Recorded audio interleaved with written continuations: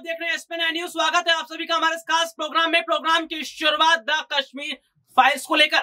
The Kashmir files को लेकर सियासी लड़ाई अब बेहद बड़े स्तर पर पहुँच चुकी है।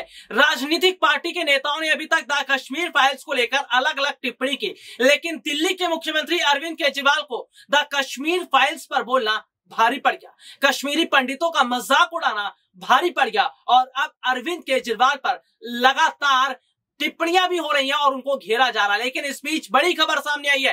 अरविंद केजरीवाल के घर पर स्याही फेंकी गई है और उनके घर पर तोड़फोड़ की घटना भी सामने आई है। इन्हीं तमाम मुद्दों पर हमारे साथ बात कर बातचीत करने के लिए मौजूद है हमारे विशेष सहयोगी मृत्युंजय।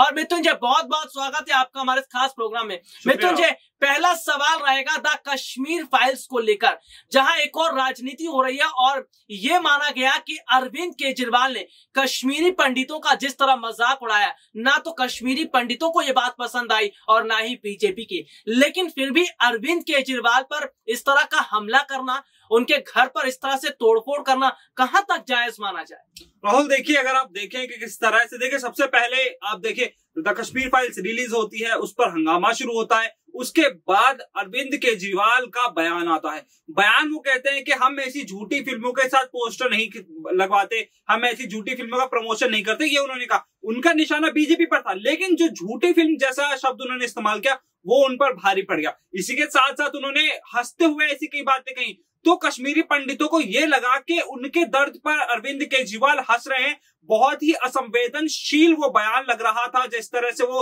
विधानसभा में खड़े होकर उस बयान को दे रहे थे। इसी के चलते उन्हें बहुत टाइम बाद सोशल मीडिया पर लगातार ट्रोल किया गया। सोशल मीडिया पर उन्हें लगातार ऐसी बातें लिखी गई जहाँ पर उनकी निंदा की गई कि क्या कश्मीरी पंडितों के दर्द को दिल्ली के मुख्यमंत्री अरविंद केजरीवाल हँसी में उड़ाने की कोशिश कर रहे हैं। मृत्युंजय।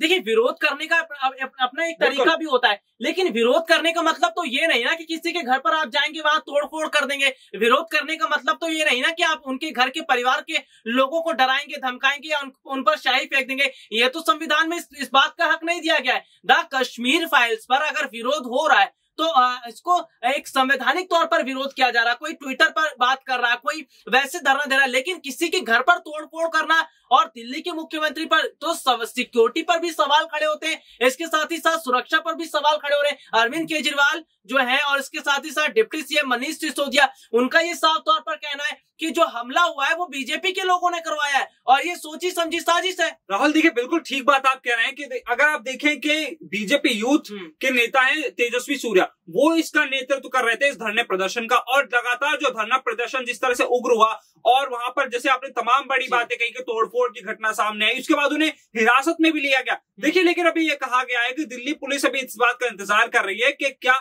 हिरासत में तो उनको ले लिया गया है। अगर सीएम आवास की तरफ़ से उस पर कोई भी प्रतिक्रिया दी जाती है हम्म। या वो उस पर एफआईआर दर्ज कराते हैं तो तेजस्वी सूर्या पर लीगल एक्शन लिया जाएगा। लीगल एक्शन का मतलब आप राहुल समझते हैं कि यहाँ तक कि उन्हें हो सकता है कि हमला करने का आरोप उन पर लगाया जाए और भी हो सकता है कि उन्हें जेल भेजा जाए हो सकता है उन्हें रिमांड पर लिया जाए लगातार जो है इस फ़िल्म पर हम चर्चा भी कर रहे हैं। और एक महत्वपूर्ण सवाल मिथुन जैसे मैं ये करूँगा मिथुन आखिरकार फ़िल्म का विरोध क्यों हो रहा है? क्योंकि जहाँ एक और ये बताया जा रहा है कि फ़िल्म में हम ये बता रहे हैं कि कश्मीरी पंडितों के साथ जो घटना घटी थी वो सच्ची है। और ये बताया गया है कि उस समय किस तरह से कांग्रेस का जब शासनकाल रहा, कांग्रेस ने उस समय आवाज़ नहीं उठाई थी। तो फ़िल्म पर इतना विरोध क्यों किया जा रहा है? क्यों जो है इस फ़िल्म के ज़रिए कहीं ना कहीं दो समुदाय को बांटने की कोशिश की जा रही है और जो दो समुदाय बट रहे आखिरकार इनको बांटने का मकसद क्या है? क्या 2024 के चुनाव की तैयारी बीजेपी कर रही है या फिर इसके पीछे का और कुछ मकसद है? राहुल देखिए अगर मैं बात करूँगी तो कश्मीर फाइल्स को लेकर अभी तक हंगामा जारी क्यों है तो देखिए आप एक छोटी सी चीज़ समझने की कोशिश कीजिए। हमेशा कोई भी फ़िल्म एक साइड का ही एक साइड की स्टोरी को बताती है चाहे वो प्रोटैगनिस्ट ले लीजिए एंटेगनिस्ट ले लीजिए हमेशा किसी एक साइड की स्टोरी को ही बताया जाता है। तो ये फ़िल्म लगातार कश्मीरी पंडितों के दर्द को बताती है। अब देखिए जिस अगर एक तरफ़ के दर्द को बताया जा रहा है तो हम्म। इसका मतलब ये होगा कि दूसरी तरफ़ ने कुछ ना कुछ अत्याचार किए होंगे। लेकिन ये मूवी उसको फोकस नहीं करती। ये मूवी फोकस करती है कि पं, कश्मीरी पंडितों के साथ क्या हुआ। हालाँकि जिन घटनाओं का ज़िक्र उस मूवी में किया गया है हाँ। देखिए वो सच्ची घटनाएँ सारी। वो सच्ची घटनाएँ हैं। एक एक घटना का ज़िक्र आपको न्यूज़पेपर आर्टिकल्स में मिल जाएगा आपको तमाम मैगजीन्स में मिल जाएगा। लगातार वो सच्ची घटनाएँ चाहे किसी की किलिंग हो लोगों को मारा गया हो वहाँ से निकाला गया हो सारी घटनाएँ सच्ची है लेकिन जिस तरह से उसे राजनीतिक रूप हाँ। लिया जा रहा है और कई पार्टी उसको एंटी मुस्लिम तुझे अरविंद केजरीवाल ने तो मना कर दिया था कहते वो कश्मीरी पंडितों को मज़ाक नहीं उड़ा रहे उनकी बातों को गलत तरीके से लिया गया है। वो तो कश्मीरी पंडितों का सम्मान करते हैं। दरअसल बात तो कुछ और थी लेकिन जानबूझकर उनका कनेक्शन यहाँ पर कश्मीरी पंडितों राहुल से उसके बाद उनके एक बयान में उन्होंने ये भी कहा कि मैंने मूवी देखी नहीं है। और अगर अरविंद केजरीवाल ने जब वो मूवी नहीं देखी तो उन्होंने इस बात को कैसे कह दिया कि मूवी झूठी है? बात तो ये भी खड़ी होती है ना अरविंद केजरीवाल पर। अगर मैं किसी चीज़ को देखू ही ना और मैं उसे देखना चाहता भी नहीं तो मैं उसके बारे में कोई राय भी नहीं रखूँगा। हम्म। जब तक मैं उसे खुद नहीं देख लेता ये तो बहुत आसान सी चीज़ है बहुत कॉमन सेंस वाली चीज़ है।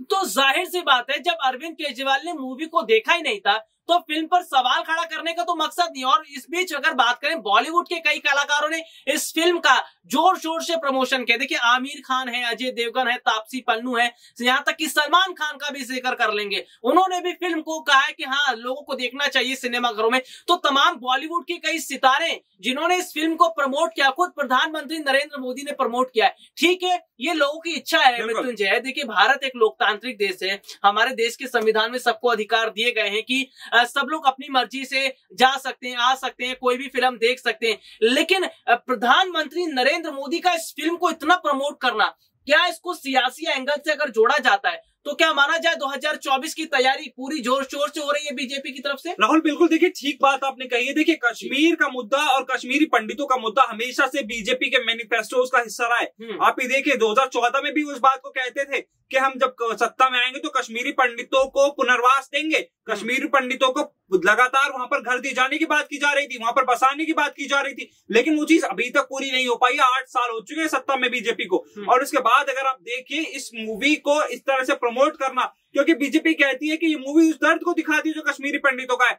अगर उस दर्द को दिखाती है और आप उस दर्द के बारे में जानते हैं तो आपने उस पर अभी तक कोई एक्शन क्यों नहीं लिया? आठ साल एक बहुत लंबा अच्छा खासा वक्त होता है। और देखिए धारा तीन सौ सत्तर को हटे भी काफ़ी समय हो चुका है। हमारे देश में फ़िल्में तो कई रिलीज़ हुई हैं इस तरह से हिंदू मुस्लिम को लेकर। लेकिन इस फ़िल्म पर इतना विवाद क्यों देखने को मिल रहा है? क्यों इस फ़िल्म पर इतना ज़ोर दिया जा रहा है?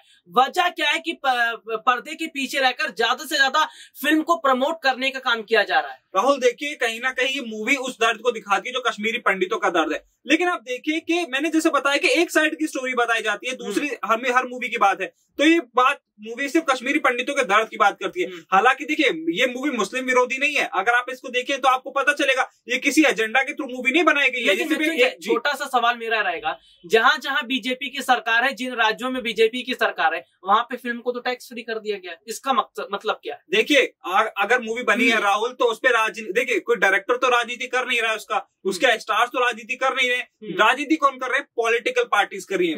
बीजेपी कर रही है कांग्रेस कर रही है आम आदमी पार्टी कर रही है। यहाँ तक कि समाजवादी पार्टी तक ने कहा था- कि लखीमपुर फाइल्स बननी चाहिए। तो देखिए डायरेक्टर की तरफ़ से नहीं किया डायरेक्टर ने कहा है कि मैंने कश्मीरी पंडितों के दर्द को दिखाया है। हमारे देश में बहुत सारी ऐसी फ़िल्में हैं जो ज्ञानवर्धक फ़िल्में रही हैं। उनको तो टैक्स फ्री नहीं किया गया। यहाँ तक कि ये भी देखा जाता है कि कई बड़े बड़े जो बॉलीवुड के एक्टर थे या जो बड़े बड़े फ़िल्म के प्रोड्यूसर रहे हैं उनको जो सम्मान दिया जाना चाहिए था फ़िल्म पुरस्कार का वो सम्मान तक नहीं मिला। लेकिन ये देखा जा रहा है कि ये दो जो तो जब फ़िल्म है तो कश्मीर फाइल्स तो इसको ज़्यादा से ज़्यादा प्रमोट भी किया जा रहा है और बीजेपी जो है अपने राज्यों में टैक्स फ्री भी कर रही है। तो यहाँ पर तो भेदभाव देखा जा रहा है। देखिए तो वो भी बिल्कुल राहुल देखिए बिल्कुल आपने बिल्कुल ठीक बात की भेदभाव किया जा रहा है और भेदभाव पार्टियाँ अपने हिसाब से करती है राहुल। आप इस चीज़ को देखिए अरविंद केजरीवाल जो द कश्मीर फाइल्स को टैक्स फ्री ना करने की बात कर रहे हैं हम्म। सांड की आँख और द छपाक जैसी ऐसी कई फ़िल्में थी जिनको उन्होंने टैक्स फ्री किया। हम्म। तो हर पार्टी अपना एक एजेंडा सेट करके चलती है और ये भी एक एजेंडे का मुद्दा है। हालाँकि डायरेक्टर की तरफ़ से कोई एजेंडा नहीं है पॉलिटिकल पार्टीज़ की तरफ़ से एजेंडा है। तो पॉलिटिकल पार्टीज़ और साफ़ तौर पर देखा जाए बीजेपी द कश्मीर फाइल्स के ज़रिए 2024